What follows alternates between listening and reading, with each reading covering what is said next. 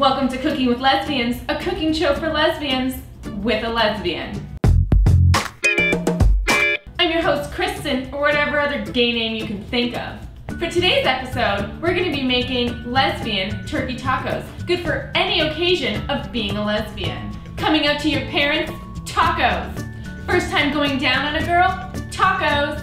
Adopting your first cat, tacos. Going to a Melissa Etheridge concert, tacos. See, they work for fucking everything. And let's be real, every lesbian loves taco. Okay, let's fucking start this labia fiesta. Here's what you're gonna need for this dish.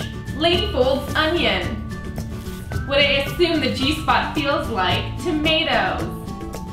Lube. Oh shit, I mean canola oil. Something you shouldn't eat if she's gonna go down on you later. Cheese.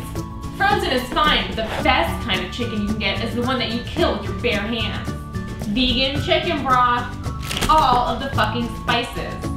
Let us fuck later. Don't forget the tortilla shells. My current girlfriend's Mexican, so I bought Old El Paso. Mmm, authentic. Looking familiar? Wait, if that's what I think a vagina looks like, I clearly haven't seen one. Heat this fucker up and then start applying the lube. Be generous or else it's gonna hurt later. Add the onions and cook them until they're lightly browned just like my Mexican mamacita. Next step is to add in the turkey, or, or chicken, whatever. Oops, remove the pad.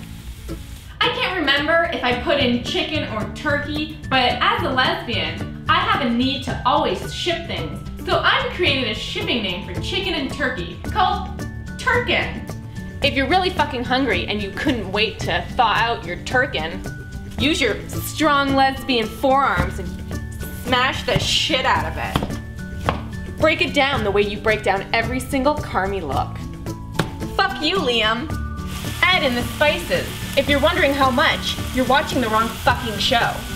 While the turkey is cooking, cut up some toppings. Choose your favorite one. My favorite top is Kristen Stewart. This lettuce is turning brown, but I'm not fucking fancy, so I don't give a shit. Mmm, the turkey smells great. Isn't it ironic that as a lesbian I love the smell of meat? I'm grating lots of cheese because I think pooping is overrated. I'm really working out my forearms with this one. Awkward wink. The meat is now cooked. Ugh, to die for. So now we're gonna assemble the taco. Obviously, you dumb fuck.